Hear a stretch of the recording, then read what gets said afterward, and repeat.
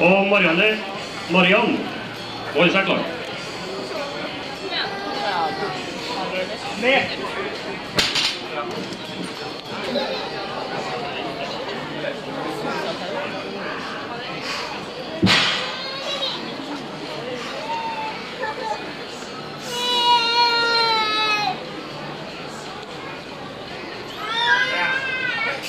Ned! En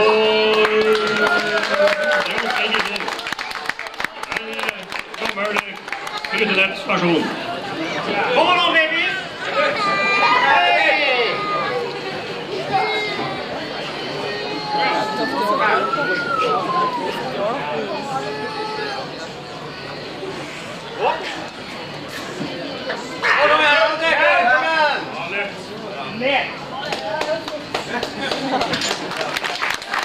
Da er stanga klar til Mortensen på 220 kilo.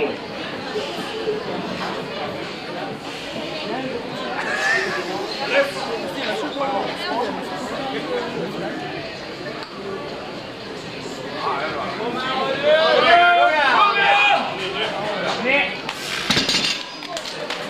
Ja, det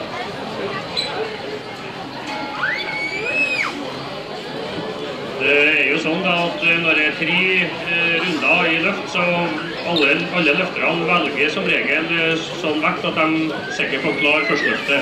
Så vil det øke litt etterpå. Det var godkjent. Sveisen er på plass.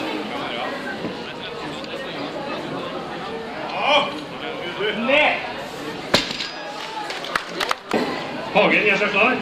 Deretter eh, Geir og Lars Bedin.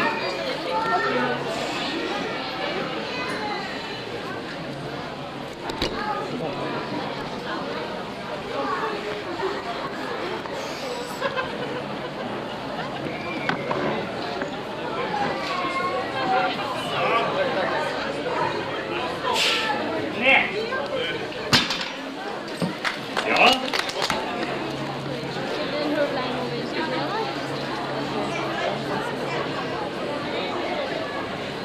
Ned!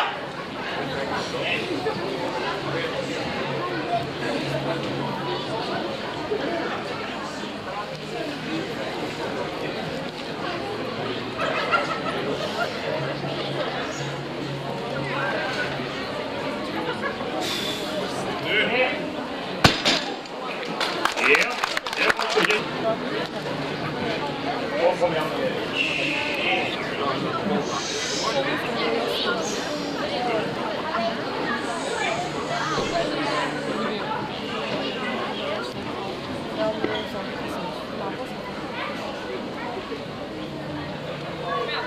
Ned!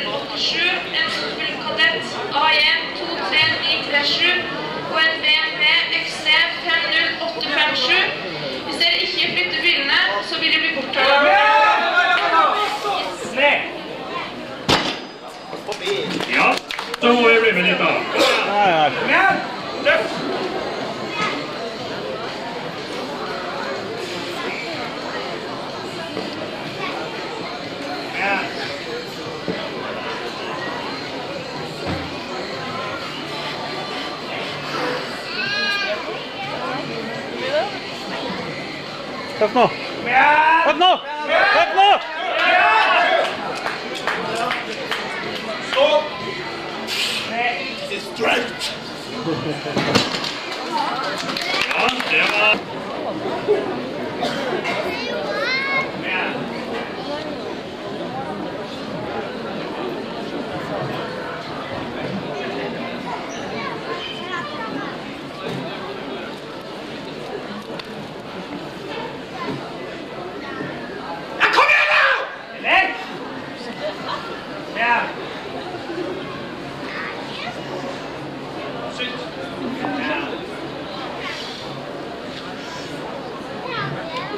Kjeft nå! Ned! Og etter Lars så blir det Grete, det blir Marianne, og det blir Birgit.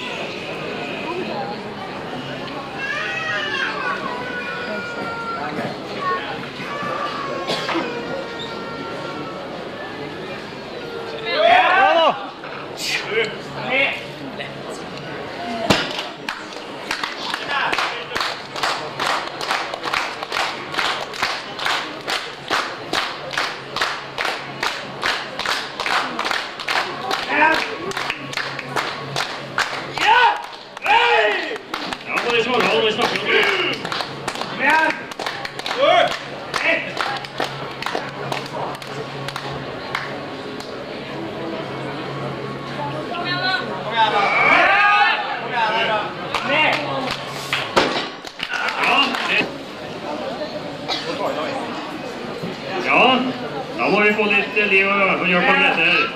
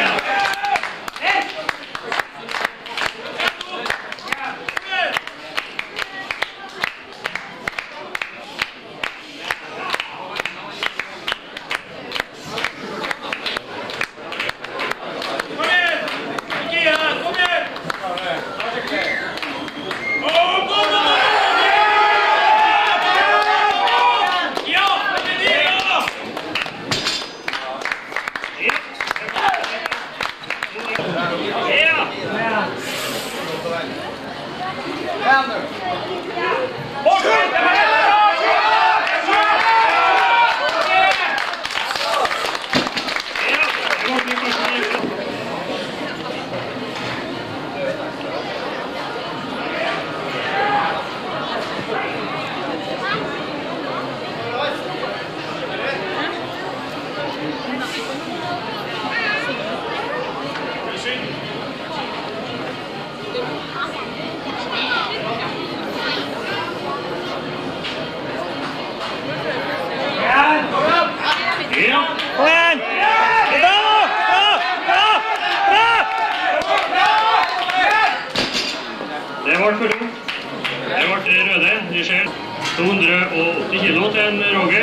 Vær så god.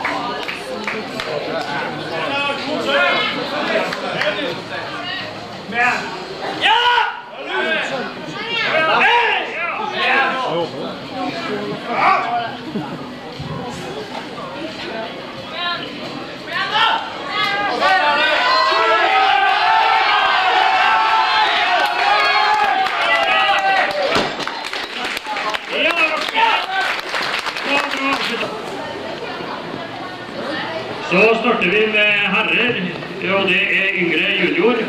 Og det er 90 kilos. Det er to stykker. Og kretsmester i den klassen, 90 kilos klassen en eh, Tore Kristian Svendsen fra skolen. 159,291.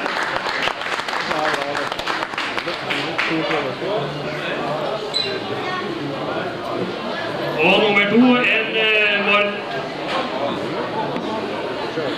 en Marius Mortensen fra Namsos på 158,04.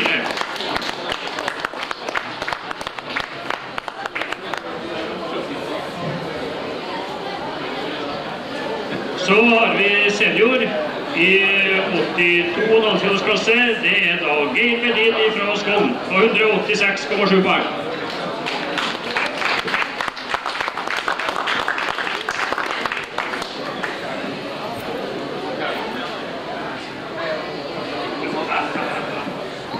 Og så har vi da i 100-kilosklassen i senior, det er da broder Lars Medin på 177,2 poeng. Vær så god.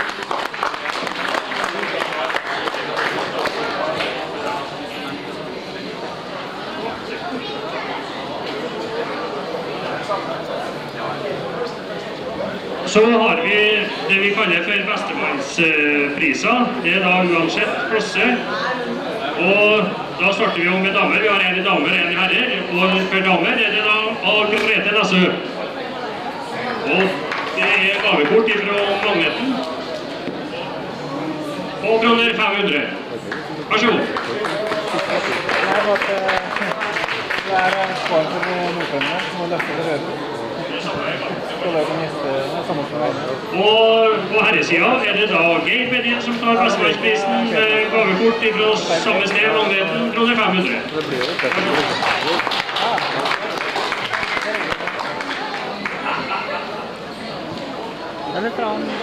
Så har vi gjesteløftere. Vi må ha med oss dem òg. Det var ikke dårlig, det. Vi starter med damer der. Det er da yngre junior. Og 67 av kilosklasse Mariann Brue fra Røros. på 186,8 poeng.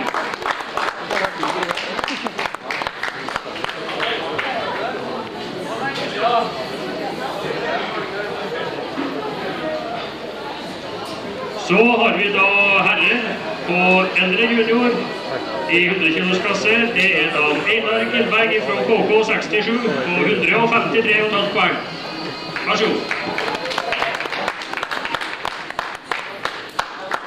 Det 100? Det 100 110? Så har vi da herre senior, 90 kilos klasse. Der har vi to deltakere, og det nummer én er da Roger Hagen fra KK 67 og 180,9 poeng. Det er best på måte.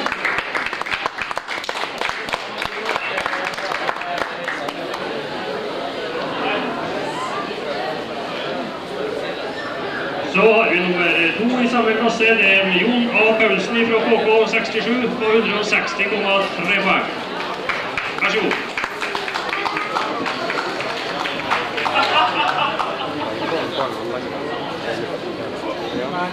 Og så har vi en deltaker i eldre veteran som heter 110 kilos klasse. Er Birger Kaspersen fra KK 67 med 127